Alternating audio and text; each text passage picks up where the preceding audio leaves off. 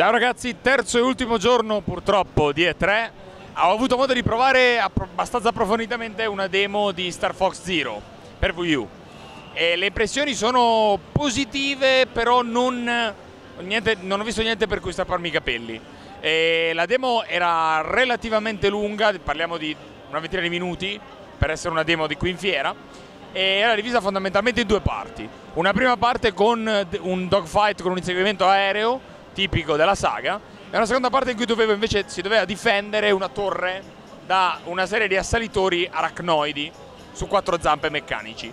E chiaramente le due parti si giocavano in maniera molto diversa. Durante la prima gli echi del, della versione per 3DS, del remake per 3DS, soprattutto a livello di sistema di controllo, erano molto forti. Per cui eh, l'astronave si controllava grosso modo alla stessa maniera di quella vista eh, sulla console portatile, anche perché nella demo che abbiamo provato non era stata implementata, come abbiamo visto invece nella presentazione di Nintendo al Direct, la possibilità di usare il giroscopio del pad come sistema di controllo.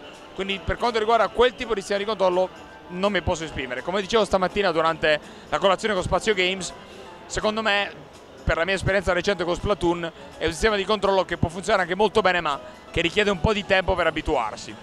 E la seconda parte invece della demo era come detto più complicata perché mm, gli arachnoidi erano a terra e puntarli e tenere il reticolo di mira mentre salivano e si muovevano non era sempre facile. Infatti sono andato vicino a, a fallire la missione, fortunatamente ce l'ho fatta e soprattutto grazie al colpo caricato perché il colpo caricato una volta che il nemico è nel reticolo di tiro lo va a prendere a ricerca quindi anche se il nemico si sposta dal reticolo di tiro dopo aver rilasciato il bottone il colpo caricato lo va a prendere a ricerca e facilita quindi discretamente la vita al giocatore.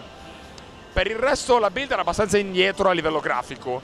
Cioè non che fosse brutta però eh, l'impressione è che parecchi dettagli eh, necessitassero ancora di una, di una giustatina eh, il frame rate molto bene i colori vivi, sgargianti, però secondo me a livello grafico c'è ancora da lavorare ed è uno dei motivi per cui non mi sono lasciato andare a, a esultanze clamorose, insomma.